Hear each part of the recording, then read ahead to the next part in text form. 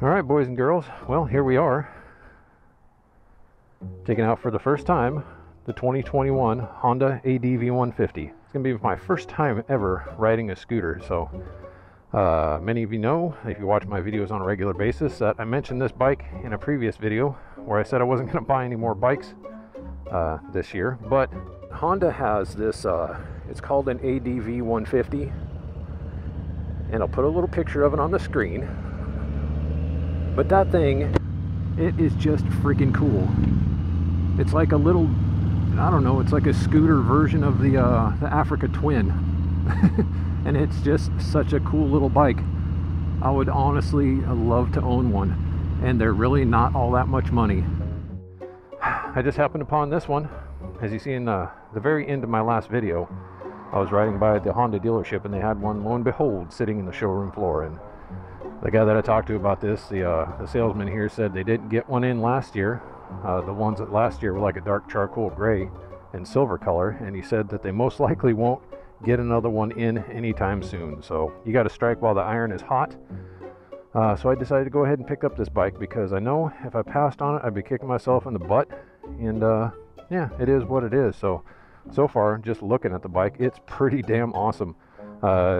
First of all, I want to mention that it is quite a bit bigger in person than it looks like in the pictures. I mean, this is every bit as big as my Ninja 300 was, except for the size of the tires, of course. But uh, body-wise, yeah, it's it's a pretty big bike.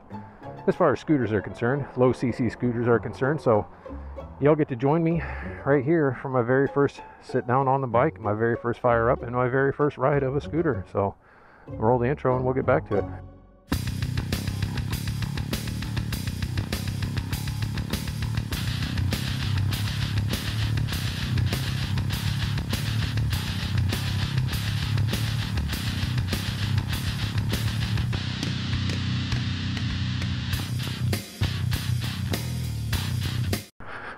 So here we are.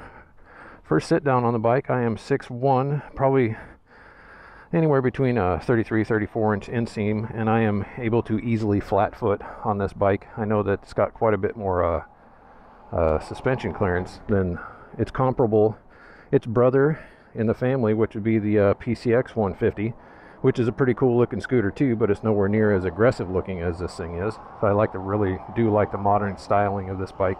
Uh, mirrors, let's see, looks like the visibility is pretty good. I'd say about a quarter of the mirrors occupied by my arms. So yeah, it's got good visibility. Um, I can't complain about it uh, for what they are. I've definitely sat on bikes with worse visibility. Uh, looking at the handlebars, got a nice finish on it. Obviously, you know, the fit and finish for a Honda is typical, so it's really nice. Uh, I'm going to have to get used to no foot controls on this thing, but I think the uh, joy and relaxation of not having to fumble around with controls every once in a while is going to prove to be pretty damn cool. So uh, let's see, how do we fire this thing up? Oh, okay, so we got over here, that's off. That little, hope you can see that down there. That little uh, switch down here that's light up. You basically have the key fob in your pocket. It comes with two key fobs. It's a keyless uh, ignition on it. So you basically, if you got the key on you or the key fob on you, you pretty much just sit down on the bike and, uh, well, you turn it to push in, turn it to on. Uh, the dashboard lights up, does a little dance, pretty cool. It's a good looking dash too. I mean, yeah, it's nice. Oh, they got a full tank of gas in here. So let's uh first startup of a scooter. I think I have to pull the brake in. Yep. Yep. Okay, so you got to pull the brake in. The rear brake to uh, get the bike to start up. Now, from what I know, or from what I've read and seen online, basically, if you put the side stand down, it'll kill the engine. And I think it will run basically with the center stand under it, but I could be wrong in that. I guess I'll figure all this shit out as I go along. So, uh, the display so far, it's let's see, what we got? Miles per hour. wow, it's got a calendar on it, month and day, and then the time, top center, uh, trip, trip A, trip B, uh, fuel consumption, miles per gallon, and on this little button over here, it's got the voltage for the battery voltage. Air temperature outside, 69 degrees. Sweet. Uh, fuel average fuel consumption. That's trip A. Let's see, how do you cycle back? Okay, so if you keep cycling through the buttons here, uh, I think it'll scroll through it once for trip A, and then you keep going, and then it'll go to trip B, and then it'll say total miles on there. Zero miles on this bike. So I am the very first. We're going to put it on trip A. Uh, let's see, average fuel consumption, voltage, air temperature. Hey, go over to B. I'm sorry if I'm boring you guys, but this is pretty cool. so average fuel consumption, I'm going to leave it on that one for now. Uh, instant fuel consumption on the right. So you got average on the left, instant on the right. And then obviously your fuel gauge and what I'm assuming, I don't know if it's got a tachometer on it. Maybe it does, I don't know.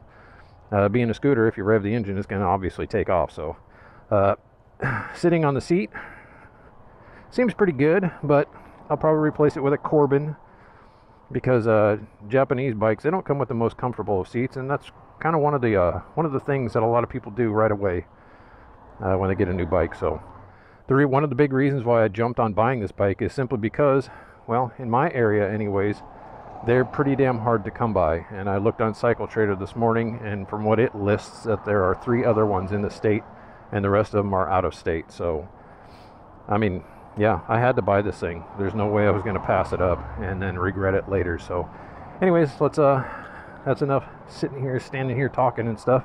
Let me get myself uh, situated here, and we'll uh, okay. So we got high beams, low beams. I'm gonna ride around with the high beams on just because. Uh, over here, typical Honda turn signal lever with a nice solid feedback click to it. Everything, and then over here you got your kill switch. You got your hazards. Yeah, Okay, hazards on the right and a horn on the left. I won't press it. And then your start button down here. So anyways, um, oh, let me, let me show you how this works. The windscreen, you pull out on these two tabs. Hope that's in view. And you push down on the windshield and you can set it in the lower position. Uh, pull up on the tabs and you can bring it up to the higher position. We're going to leave it in the high position. So anyways, let's get rolling. See if we can get used to this little thing.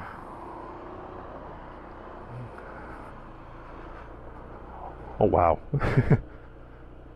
Okay, not gonna lie, this is really cool, and I'm gonna have to get used to this. Not having to pull in a clutch when I come to a stop, or not having to do anything. this is awesome. I gotta leave my uh, my helmet cracked a little bit. It's kind of a little bit warm. So we're gonna take it around a little neighborhood over here. I know it's not gonna be the most exciting of scenery, but I want to get used to this bike before I uh, before I go hop out on the road and go any farther. So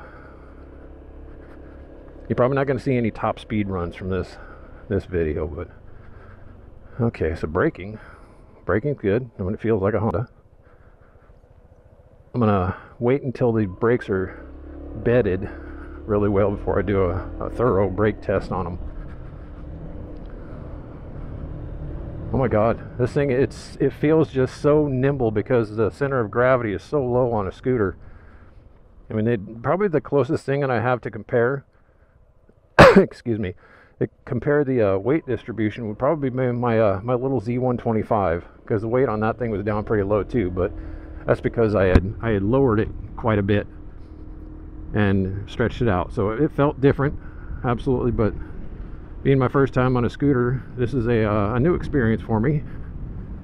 And I can tell you right now, it's just flicking this thing over, just laying the bike over is just effortless. And it really, really is this is fun, to be honest. I never thought I'd enjoy a scooter so much, but here we are. Kind of feels like, looks like the handlebars are a little crooked. Maybe I'm just smoking crack or something, I don't know.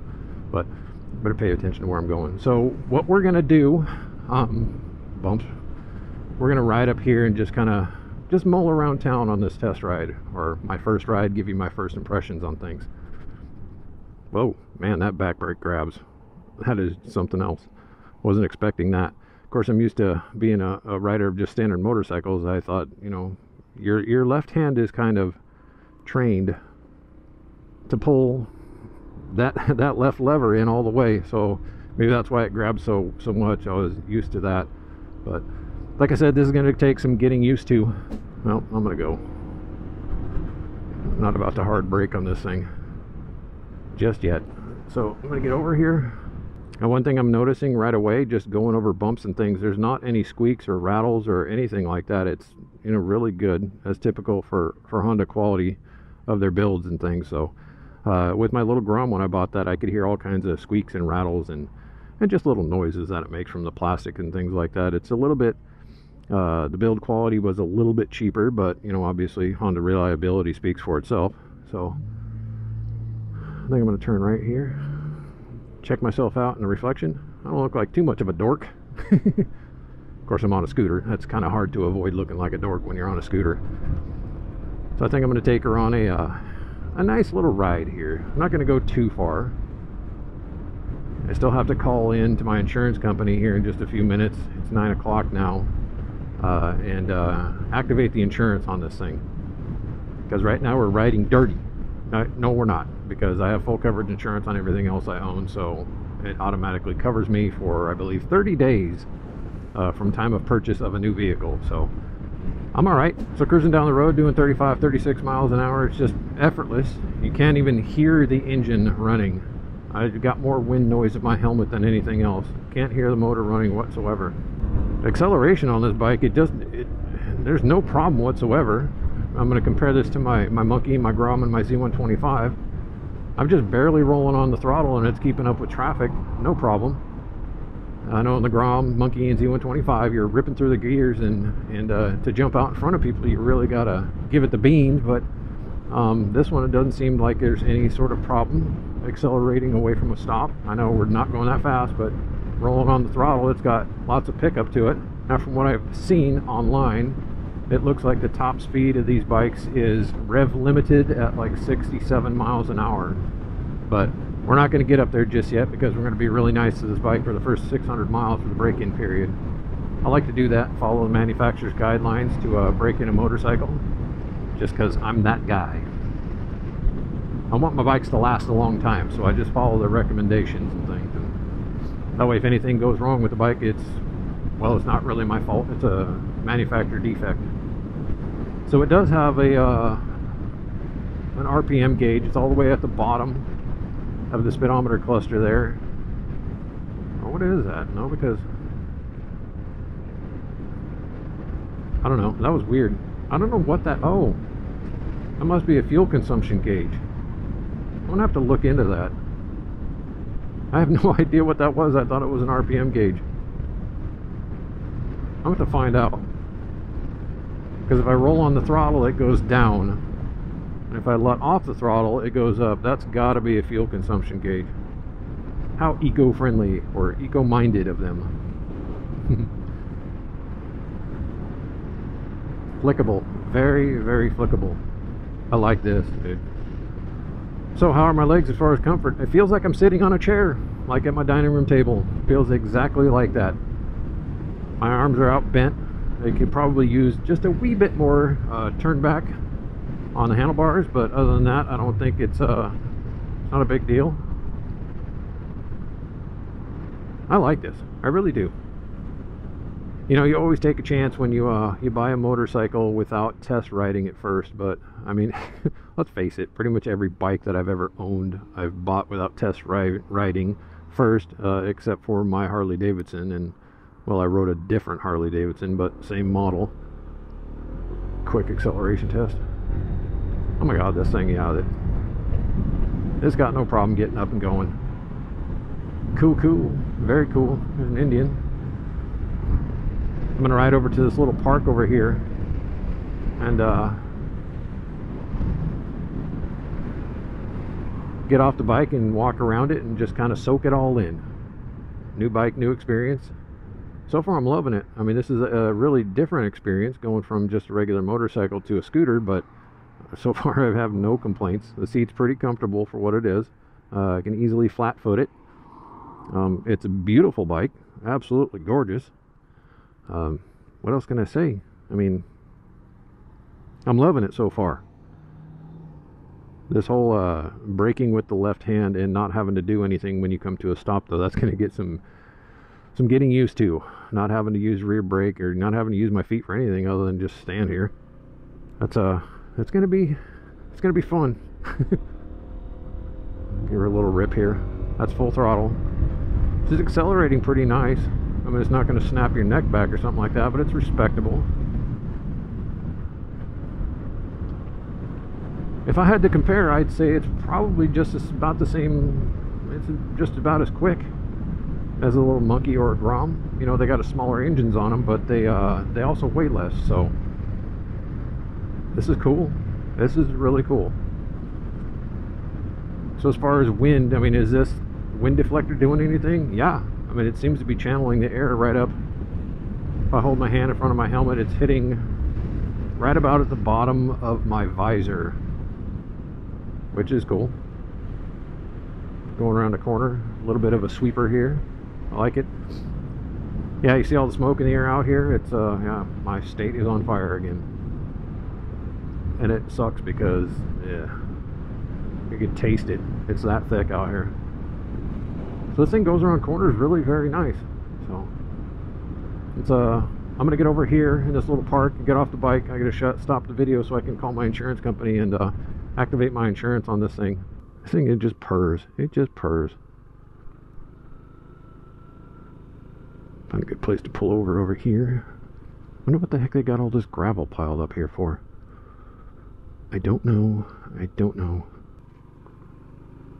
Anyways, everybody, thank you for watching. This is just my uh, first ride, first impression video of this bike. There will be more to come on it. I have I have some plans on it that has to do with this bike and doing some uh, photography stuff. And um, you know, it's nice to be have a scooter. You can keep your left hand free, maybe grab for a camera or something like that while you're on the road. I wish I had cruise control. Um, that's probably the one thing I would change about it. Anyways, uh, thanks for watching the video. Uh, there will be more on this bike, so right now, I'm just going to, uh, like I said, I got to make a phone call and stuff like that. Well, thanks for, uh, thanks for coming along for the ride, and uh, we will see you on the next video.